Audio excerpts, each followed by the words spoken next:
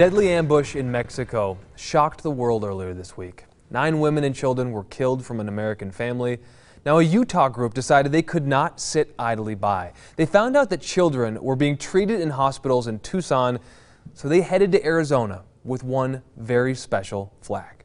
We're here to, you know, give them peace, give them courage. Last week, a frigid march up Coldwater Canyon to hang this massive flag as tribute. In honor of Mayor Brent Taylor and veterans. Kyle Fox with Follow the Flag Utah helped hang that flag last week, but when he found out the Tucson area hospitals were treating injured children after that massacre in Mexico, he just knew showcasing this flag could help the community heal.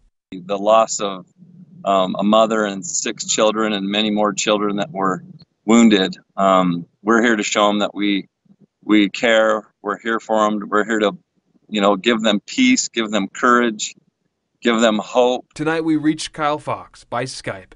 He was in Ventana Canyon near that flag.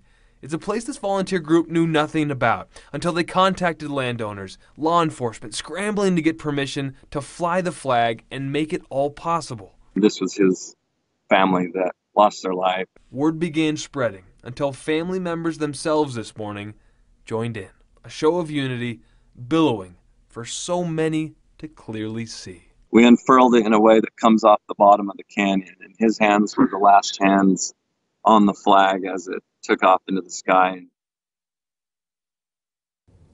Just a wonderful story there, an example of service. You know, the plan is to leave that flag hanging in the canyon for another week.